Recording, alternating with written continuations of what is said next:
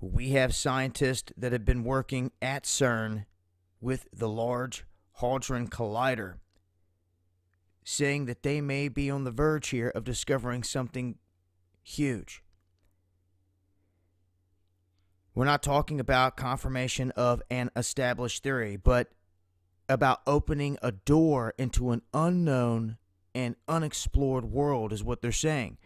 It, this goes right along the lines of everything that we've been stating about opening doorways to other dimensions, and they're hinting at this.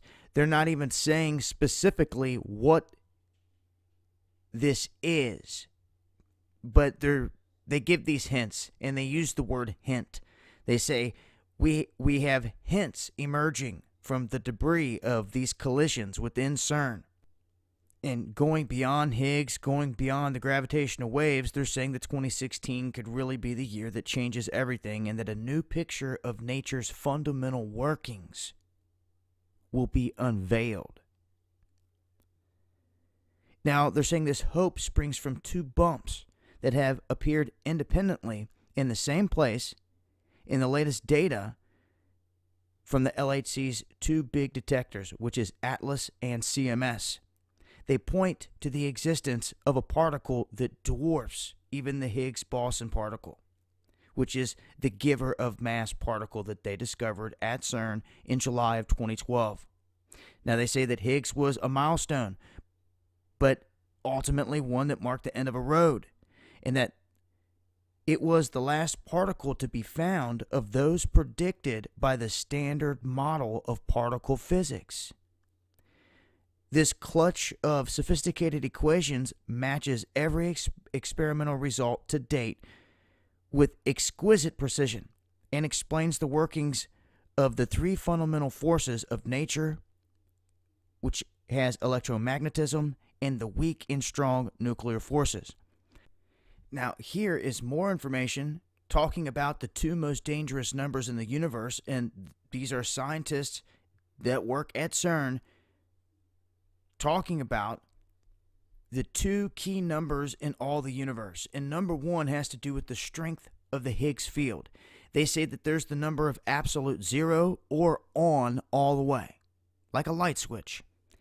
They say for some reason, the Higgs field is like barely turned on.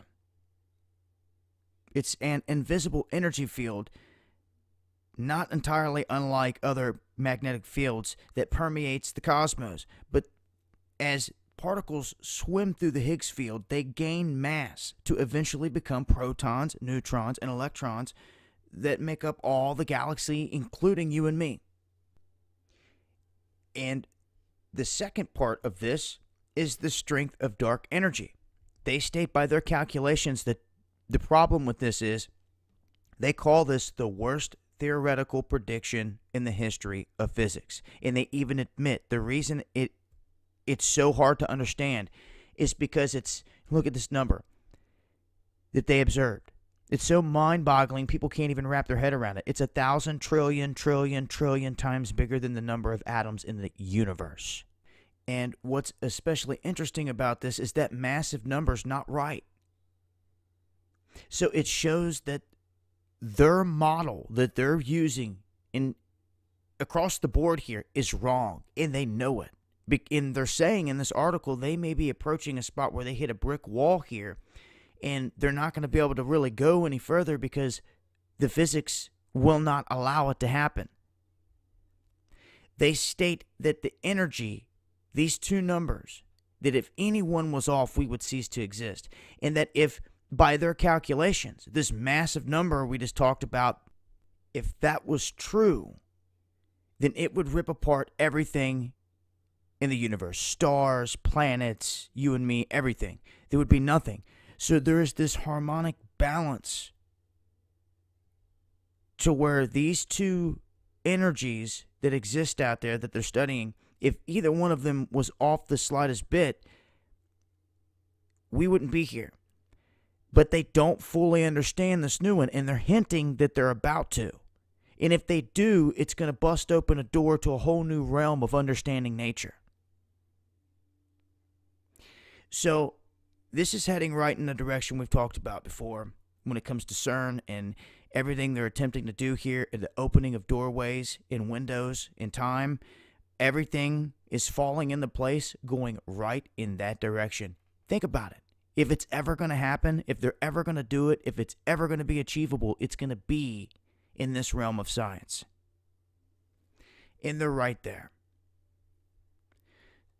Interesting information here in regards to CERN on the doorstep of something huge here is what they're hinting at.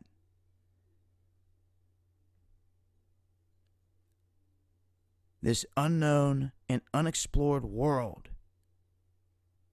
that they're talking about. And they're saying 2016 could go down as the year when a new picture of nature's fundamental workings are unveiled. I'll leave links. It's been Dahboo 7.